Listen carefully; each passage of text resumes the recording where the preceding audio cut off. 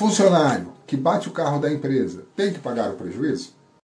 Depende. Tem situações que sim e outras situações que não. O funcionário não será obrigado a pagar o conserto do carro batido se ele agiu de forma precavida e não deu causa ao acidente. Agora, se o funcionário dirige igual um louco, passa o sinal, corta todo mundo, anda em alta velocidade e numa dessas acaba batendo o carro, ele assumiu o risco e ele terá que pagar. Risco do negócio é do empregador, mas também não pode o funcionário alucinar no trânsito e achar que o empregador vai pagar o conserto.